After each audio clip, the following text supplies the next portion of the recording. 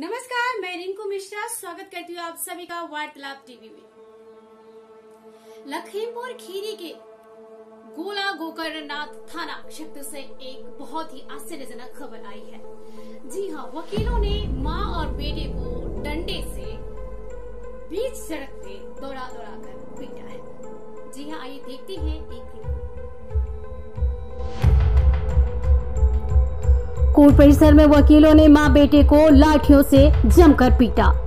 लखीमपुर खीरी के गोला गोकर्णनाथ थाना क्षेत्र से एक आश्चर्यजनक घटना सामने आई है, जहाँ अदालत परिसर में एक वकील ने अपने साथियों के साथ मिलकर एक महिला और उसके बेटे को बीच सड़क पर लाठी और डंडे से पिटाई की है। घटना से इलाके में हड़कंप मच गया है। दरअसल यह वकील शंकर लाल के साले है। महिला का आरोप है कि उसने धोखे से 25 बीघा ज़मीन अपने नाम कर ली। मामले की शिकायत तहसील परिसर में एसडीएम से की थी, लेकिन अधिवक्ता शंकर लाल ने महिला और उसके बेटे को देखा और लाठी डंडों से उन दोनों की पिटाई की।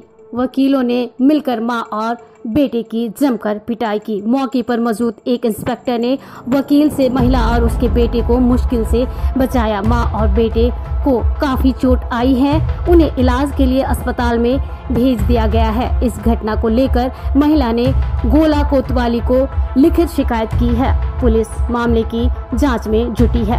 कुछ लोगों ने इस घटना का वीडियो बनाया और सोशल मीडिया पर वायरल कर दिया।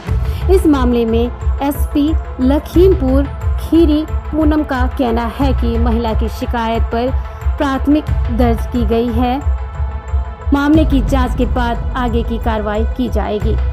न्यायपालिका पर करी बेशर्मी से चोट, ऐसे उदंड वकील से छीन लेना चाहिए काला कोट। अगर कटघरे तक पहुँचने वाला इंसान और न्याय दिलाने वाला वकील ही अन्याय पर उतर जाए तो कहाँ जाएगी जनता और कैसे मिलेगी इंसान